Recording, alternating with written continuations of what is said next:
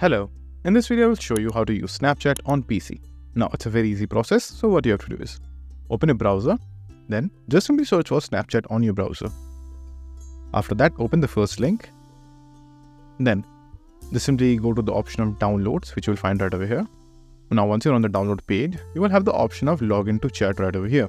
Now click on this option. So that will take you to Snapchat web option as you can see right over here.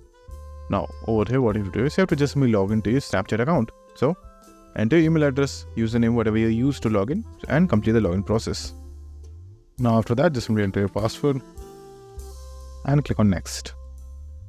So wait for a few seconds.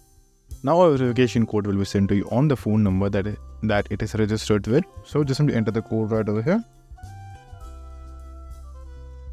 After that, click on next.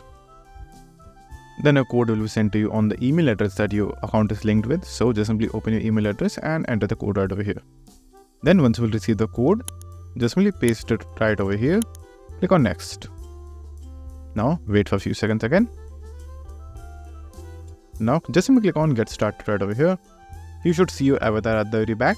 Now over here, just simply click on allow for your microphone and camera. And now just simply click on enable notification if you want that.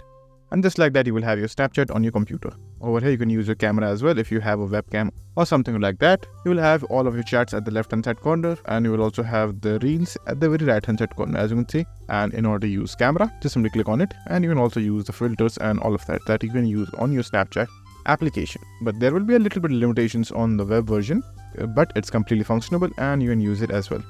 So that's it. And if this video is helpful, please consider subscribing and liking the video.